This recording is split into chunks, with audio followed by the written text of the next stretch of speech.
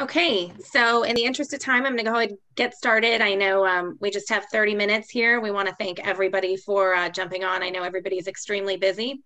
I'm Casey English. I'm the uh, Director of Business Development for CWDL. I'd like to uh, get started by welcoming Troy Garris, founder and managing member of Garris Horn LLP. Troy is a business owner's lawyer, priding himself on a results oriented, pragmatic approach to addressing legal issues in the financial services world. Troy deals with federal and state compliance, enforcement defense, company formation, and mergers and acquisitions. In these areas, Troy represents independent mortgage bankers, community banks, lenders, servicers, title companies, secondary market investors, and equity funds Troy is active in the mortgage banking industry, and in 2007, the Mortgage Bankers Association named him to the Future Leaders Program. We also have Mark Wilson, CPA. Mark is the founder of CWDL, a rapidly growing assurance and tax and consulting firm dedicated to servicing the mortgage industry. CWDL is passionate about helping entrepreneurs realize their goals through the development of key performance indicators, tax planning, and providing a clear understanding of accounting data to make informed business decisions. CWDL has va a vast client services offering, including MBFRF reporting, subservicing oversight, and accounting software implementation and cleanup for AMB, LoanVision, and QuickBooks. Prior to starting CWDL, Mark founded and sold a privately held independent mortgage bank, served as a CFO for multiple financial service firms, and participated in raising capital as well as M&A transactions. Mark's background provides him with a unique client side perspective that allows him to understand the needs of CWDL's clients. Welcome, Mark. We're extremely lucky to have both industry experts on with us today uh, about uh, LO litigation and how to mitigate risk. Um, just a couple housekeeping items before we get started use the um, Q&A function to ask any questions. We're going to do our best to get to them, but if we run out of time, we will address them individually after, and each of you will be sent a recording of the webinar. With that, let's get started. Sounds good. Thank you, Casey, for the introduction. Um, I'm super happy to have Troy on the call today. Um, we it really is a treat to have an expert on this particular topic, and I know when we picked it, it was um, it, it, it, was it was it was great because we have lots of clients that have questions about loan officer compensation. We have had uh, many clients um, get involved with litigation, some other issues. So um, thanks for for doing this today, Troy, and and collaborating with us on this particular topic. Yeah, thank you, Mark, and thank you, Casey, also for the introduction. Very kind words. And um, yeah, we have some some kind of thorny and common questions that uh, we have on our list today. We're going to try to squeeze as much as we can into the 30 minutes, and we probably won't get to everything, but hopefully we'll get to some of the more pithy kind of conversations. And uh, so, Mark, if, if I'm okay, just kicking up on on LO comp, that actually is something that I spend a lot of time on and have for a long time. And uh, you know, one of the key areas that I see, and I'm guessing that you see as well, is in the in the concept of what do you do with branch managers, some of whom are producing, some of whom are allegedly at least not producing, and and how do you uh, make sure that you're not falling into uh, you know a, a situation where you treating somebody incorrectly, because typically in, in my experience, what I'm seeing is that people who are trying to be classified as non-producers, they want to get paid on a profits basis or some basis that's not acceptable under LO comp rules. And I don't know if that's similar to what you're seeing as well, but maybe you can share a little bit of your insights. No, I think I think that's right. I think we, we see that a lot. Um, you know, typical branch model, you'll have um, you'll have the, the the branch manager who may or may not originate and want to be paid on the profitability of that particular branch. And so there are particular issues that come up. Um, and we get questions often from from clients asking about what what is compliant, what is what can we do, what what right. should we be doing in these particular situations. Yeah, um, so I that yeah, I have a, a, similar kind of experience, and, and I do I, I will say, and I think everybody knows this, but just to be clear, paying profits to a person who's covered by LO comp is not allowed. It just isn't. And there are a lot of other things that are not allowed. Not allowed. Also, the the basic rule is you can't pay based on terms of a loan, can't pay based on a proxy for terms of a loan, and so those um, you, know, those profits are deemed by the CFPB to be uh, terms or, or a bundle of terms of the loans. And so that's just not permitted. Well, one, one thing that people often do uh, as, as far as, or, or think about doing at least, is that they'll say, well, I have this producer and we want to pay him profits, but we got to get him to a non-producer role in order to do that. So how about we just call him a non-producer? And that just doesn't work. You got to make sure that the person really isn't engaged in any of those loan originator activities in order to be paid on a on a um, non-producer basis. And it's it's kind of hard because it's so ingrained in a lot of the people that are branch managers. They're they're usually awesome at sales, and they usually have a a long long list of people that just call them from time to time because they're they're moving or they're refining or somebody got referred over by a friend. And so people call that branch manager. And once that branch manager starts talking to a consumer that person very likely and very easily can slip into a producer kind of a role. And at that point you wouldn't be able to be paying profits anymore or, or any other way that that's not LO comp permitted. Um, but it's but it's a big issue, I think. I, I also see in, in the same category a lot of people that will have a, a like a couple. So there's the one spouse is a producer, paid on LO comp covered compliant basis. Another another spouse is a, a non-producer and paid on a, a often a profits basis or net profits basis. And that you know it's it's an area that is largely unexplored there is certainly room for the the agencies to to call that an impermissible kind of a of a compensation structure um, I, I've talked with even at the CFPB them, itself I've talked with uh, some people who say yeah that should be fine and I've talked with other people who say yeah we can't we can't have you doing that because direct or indirect compensation covers is covered rather. And so if I'm paying this the one spouse on profits and then they share bank accounts and they file joint taxes and they own everything together and it's community property, it can be an indirect compensation structure. It's it's still largely unexplored, but as far as legally, but there's, certainly some risk there and, and something people want to think about in uh, in terms of how they structure that you know something something else that I see, Mark, and I don't know if you see this a lot too, but even today I run into people probably once a month, maybe once every two months on average, where somebody is paying differently to these are to loan originator covered people now. This is not the non-producer. So you have a LO or branch manager who's covered and they're paying differently based on whether the loan is one type of a loan or a different type yeah. of a loan. Yeah, I mean, you're talking about lead source, right? So if you have this self-generated lead versus uh, a, a company-provided lead, um, they might have a different comp structure for each one of those leads. What are you seeing from a compliant perspective? Um, and I think that that's so, pretty that's real common, especially especially um, originators that have a consumer direct channel and a retail channel. Right so those are the two areas that we see that.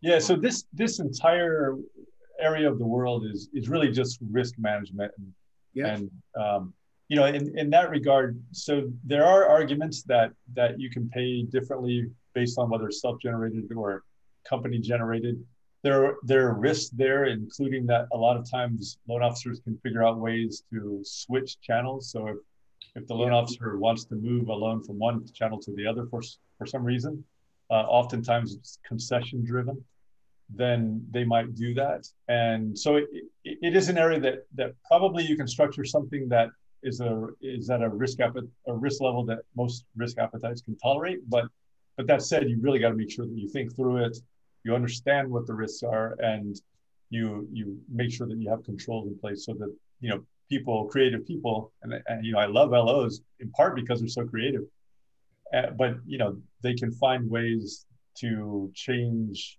uh, for example, one loan a loan from one channel to another, just because it's allowed, and maybe the company didn't really think through that part of it. And it's not necessarily even nefarious; it's just their understanding of how the system works. That's right, and, and I think I think that brings up a good point. Um, concessions. Uh, concessions yeah. are a big part of of this particular um, topic. Um, you know, I, oftentimes we'll go into a, uh, to a client on a consulting basis and and they have LO comp and they have their target um, company margin that's built into to their model. And um, and they're not realizing it. And that's oftentimes because they have loan officers coming in frequently for concessions. So um, i think and most people understand maybe you can expand on what the rules are as it relates to concessions but right. um, you know if you're if if you're paying in a compliant way obviously the concessions only hit the company. The loan officer generally isn't uh, participating in those concessions.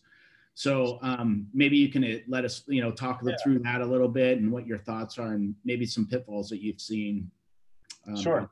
sure. Yeah, yeah. So the concessions almost entirely there are some very small slivers where concessions i wouldn't really call them concession but where some loan level charges might be able to charge back to a loan officer if you set up your agreements properly. But almost exclusively, if you have a concession, it means the company is eating whatever the cost of that is. It, it cannot be the loan officer. It cannot be the producing branch manager. Um, it's it's just not allowed. There is a there has been for a number of years now a, a push at the MBA to to convince the CFPB to change that thinking so that some concessions would be allowed.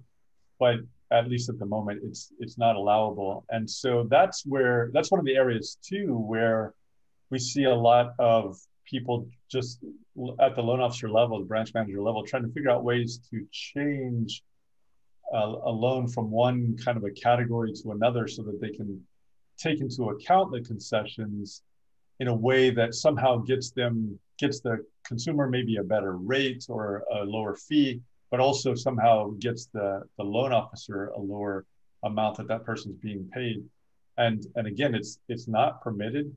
And so it's, it's the kind of thing that the company's compliance officers and, and operational people and management definitely want to make sure that they understand and do some good training too. You know, that the, the LO comp um, rule comes with some, some real teeth and when you think about these types of, of violations, often people think of it as well, it's just a minor thing, right? So on one loan, this guy was able to uh, move, you know, pay differently on whatever the category. We paid differently on a bond loan as compared to some other loan, and he only did four bond loans last year. So, so they think of it as as a minor problem, probably never going to surface. If it does surface, probably never get in trouble. And and it's not necessarily that limited pool of loans that that are at issue because if you're paying differently on bond loans as an example you're also paying differently on all those other non-bond loans and each one of those could be viewed as a violation and the violations can rack up pretty pretty substantially there's there's been a few settlements as, as most people know in this area and the settlements have been in the multiple millions of dollars in civil money penalties paid to the CFPB. And they went after the principals in those cases and management in those cases as well. So it's a it's an area that you really want to be careful about because if you get it wrong, you're kind of rubber stamping the violation each time you do it. Yeah, and there's precedence for how it gets paid out because there's yeah, the, the, you've we've seen it happen across the board. So um, be careful, right? Um, you yeah. know, I think the other side of that qu- equation is we, we, we were just talking about concessions. Um, what about these overage accounts or, um, you know, oftentimes there, there was a time they called them point banks, which universally we've, we've learned that, you know, are not okay. But um, this idea or concept that um, you either have a branch or a loan officer that's outperforming, I mean, they're, they're hitting a, a bigger margin than expected. Um, right. What and and you know what's interesting is you know in 2018, of course, we didn't see much of that. Um, 2019 was much better, and I, I would say 2020 is going to be quite large, right? I mean, I, I, anticipate there's going to be these these retail branch models that might have some of that. Um, um, and so maybe right. you can talk a little bit through the rules around what that looks like. Um, we, you know, obviously from our audit side, we have some some strong opinions on that, but sure. um, um, I'd like to see what you know, from your side of the table, what's that look like? Yeah. So, so you know, there are different names that people give to these types of concepts. So, some people will call them overages, some people will call them overrides, some people will call them point banks, and all of those can have all those terms have multiple meanings depending on who you're talking to and, and at the time you're talking to them. Right. And, it, and there could be some regional variations as well. I've found, but but the basic concept that I that I think of this is it's money that is either it has been earned by the loan officer or more commonly the branch manager, but has not yet been paid out. And so it raises a bunch of issues. One of the biggest issue in my mind is, is from FHA, because most of the people that we're talking about um, having this sort of volume is probably going to be FHA approved. FHA has rules against requiring anybody other than the company from paying, uh, preventing anyone from besides the company from paying any sort of operating costs. And so if the branch manager has money that's owed to him or her, and the company is keeping that money and using it to pay for whatever it is, uh, some sort of costs of the branch or, or anything else for that matter, FHA is going to take issue with it.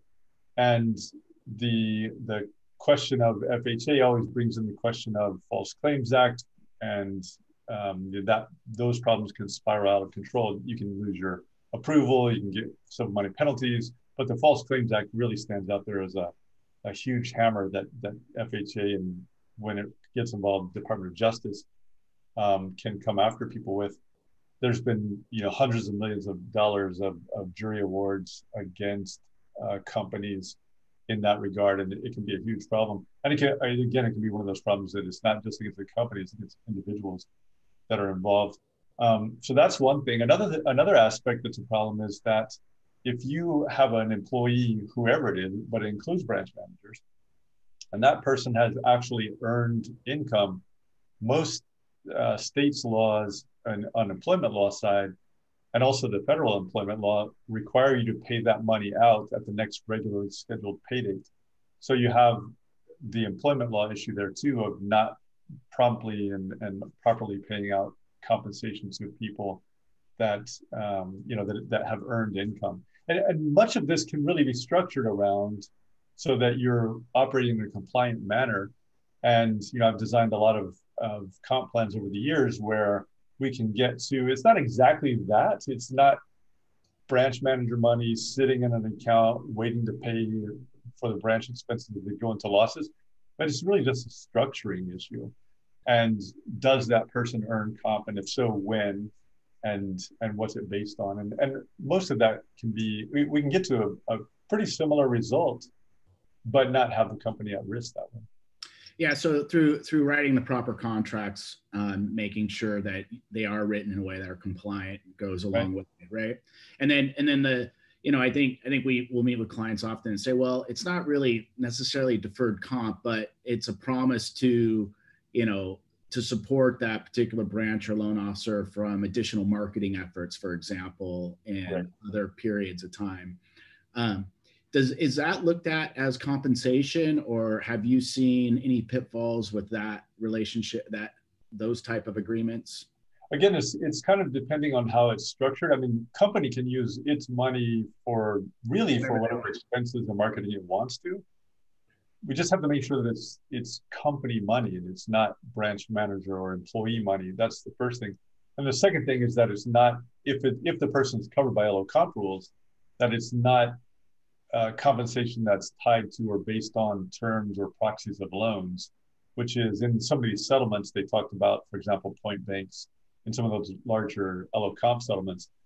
They didn't really define what it is, and and the CFPB has had some trouble over the years t- telling people exactly what they, they say that point banks they've never seen one that's legal, but they don't really tell you what it is, and so you you don't really know what they have in their minds, and you know other people have different things in their minds sometimes.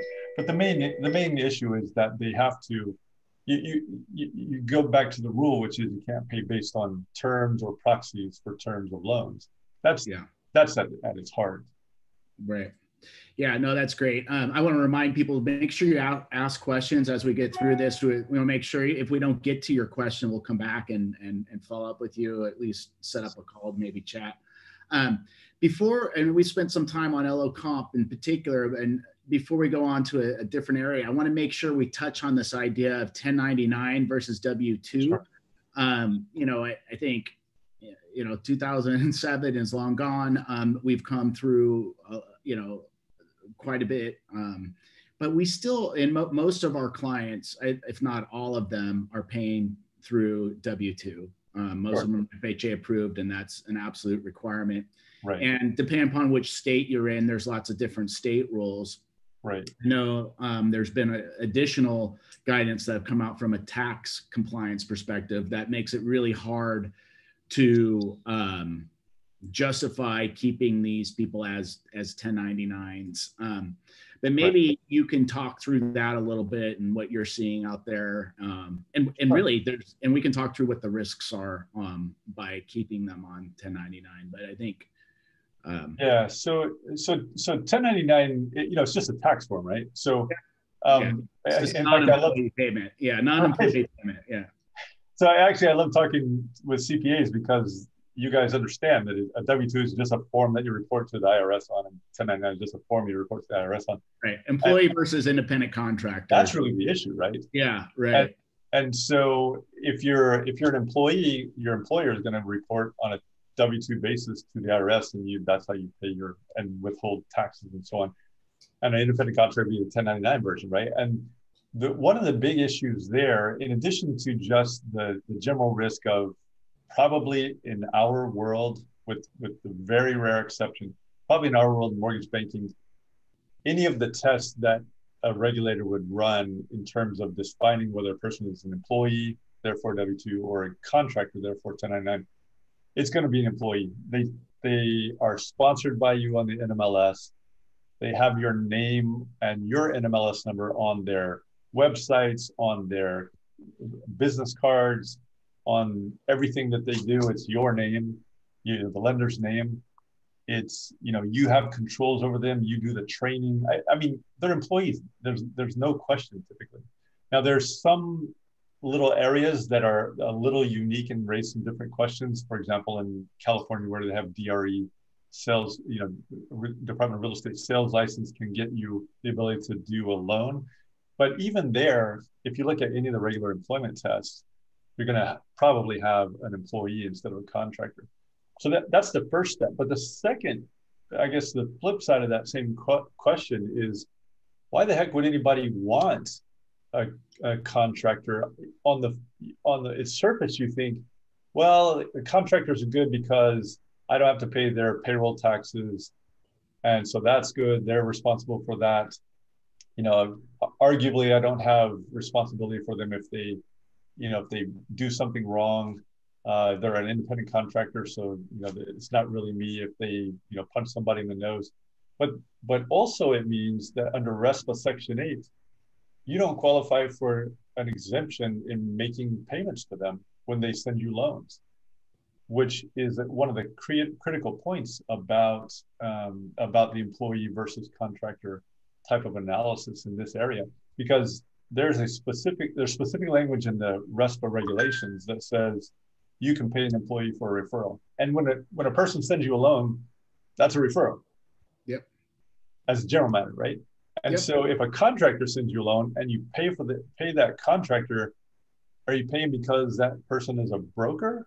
Or it's just unclear. So it raises these through a TPO channel, that's different, right? But right. but but if it's an originator and the loan's closing in your name and right. it's uh, put in there, yeah, I think I think you're right. I mean, there's there's a lot of people, you know, what you get kickback from is, you know, everybody else there's other people doing it or you know and and it makes it harder to recruit the loan officer. And and we we understand that. I mean from from a lender side you know oftentimes the the, the owners of these independent bankers their clients are the loan officers as they're recruiting right. into their company. Right. And um, if the guy down the street is paying that person as a 1099 and or as an independent contractor or even as an even paying their corporation oftentimes we've we've seen that and try yeah. to through that. Sure. Um, you know, it, it, it, makes them maybe in a less competitive arena because that loan officer wants to write off their other expenses and do other things. And so, um, you know, so there are there there is still some of that that we run into on occasion. So yeah. hey, Mark and Troy, I feel like this is a good time. We we have a question, and and it's real specific to what you guys are talking about right now. Thoughts on several major national lenders offering a pick a pay option, where yep. the loan officer um, can can pick which pay scale or price sheet they want to work off sure. work off of. So, um, any thoughts on that? Yeah, it, yeah, says, so, oh, it, says may, it, says, I may get paid more than an LO in an office next door, but the rate sheet is higher than what he or she is charging as well. Right. Uh, and it says all all in the same MSA. So right. Um, yeah. What are yeah, so they they tend to the LO comp rules, even though you, arguably the LO comp rules don't allow that. The CFPB has has read it to not prohibit that type of situation, but it raises real serious fair lending issues because just as Mark said, you got two two different LOs sitting side by side, perhaps even. And if I call LO one, I'm going to get one rate. If I call LO two, I'm going to get a different rate. And if it turns out that that happens lo- often enough, and there's some correlation to gender, race, ethnicity, age, whatever it is, then there's going to be a real fair lending issue. And and that's an issue that, as you can imagine, in this world, especially um, the CFPB has has been focused on pretty pretty heavily, and we can expect that that will continue or increase even. Got it. Okay, and one more question. Um, any issues when paying out commission once the loan is bought off the line versus the time of funding or closing? So I think what that means is they're delaying the time when they're going to pay compensation. So the question there is going to be it's it, it seems like a nuance, but it's an important one you have to define when that compensation is earned. And you're going to do that in the agreement. So you got to set up the, the compensation uh, formula properly so that the person doesn't earn compensation until certain things happen. So the person originates or does all the work to originate the loan. Maybe they the loan gets closed, maybe it gets funded. You can build in a variety of different criteria for when that person earns that compensation. But as soon as the compensation is earned, next payday, and you can calculate it, next payday you got to pay that person according to your agreement. So that's in a nutshell, that's that's the way to do it. So it's it's possible to delay, but you got to make sure that that's what your contract actually says. Yeah, and, and, and you want to be and you want to be consistent on how you treat it, right? Um, Correct. I would say I'd say as far as what we experience um, from our clients across the country, I I'd say most of those are, you know, as soon as the loan funds, they qualify for the commission. And then, um, and, and the timing of it varies from either, you know, two weeks post funding to very next pay period. They, that, that, that part's, that part's um, varies, but the vast majority of them, it's the funding that triggers the earning, not selling it off the line per se.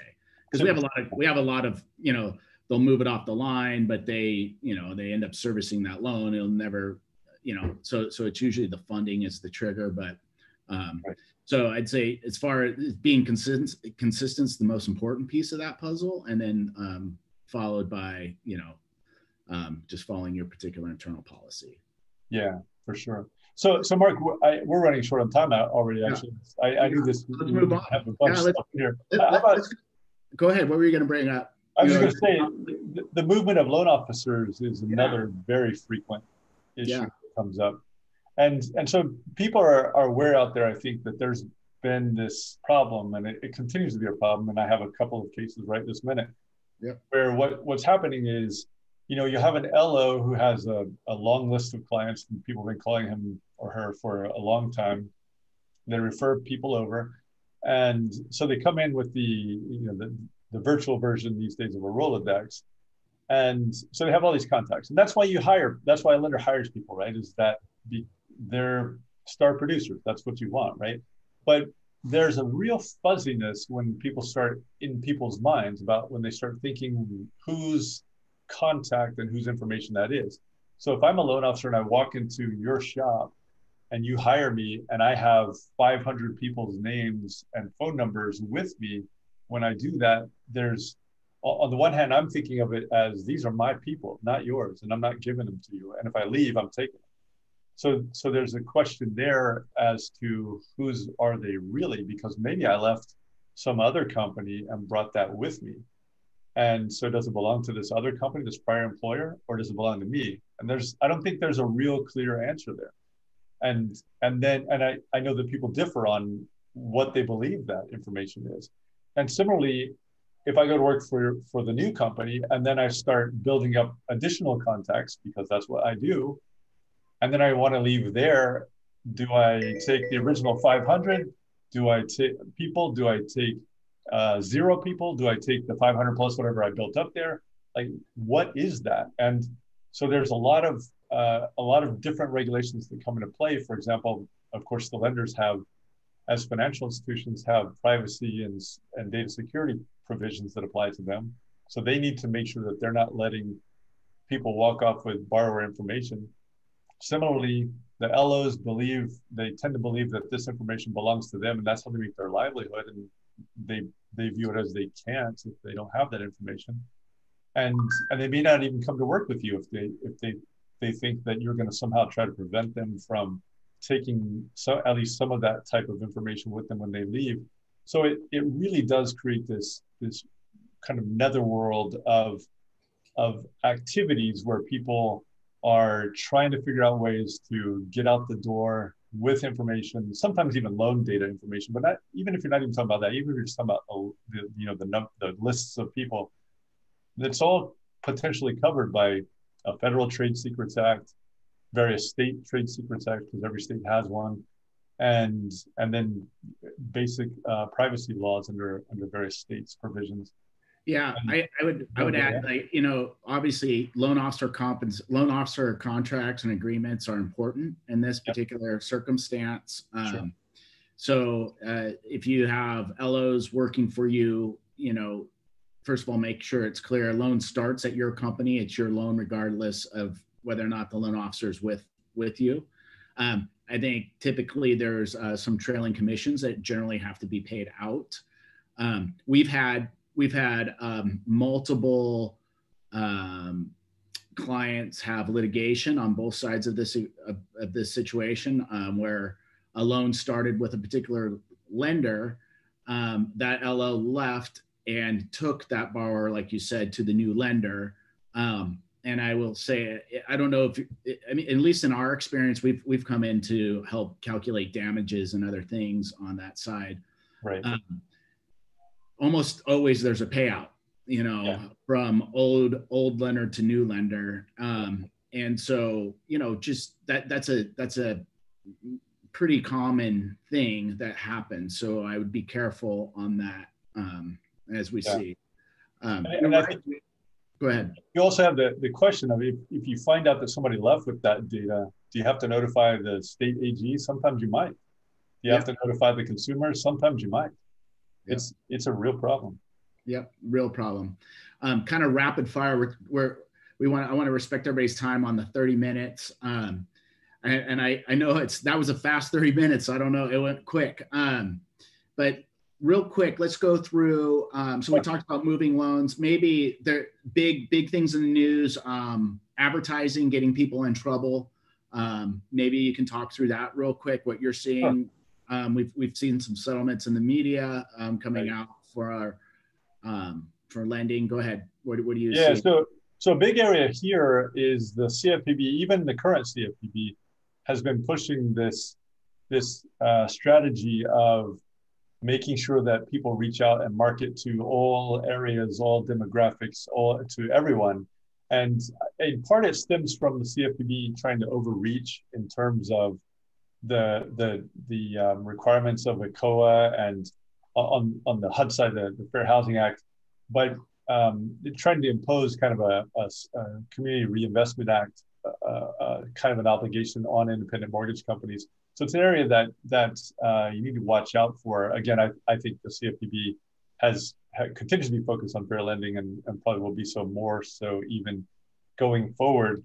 Um, but that's a big area. Also, just in terms of the various like uh, platforms, whether it's Facebook or Twitter or, or whatever other uh, types of media platforms people might use, loan officers in particular might use.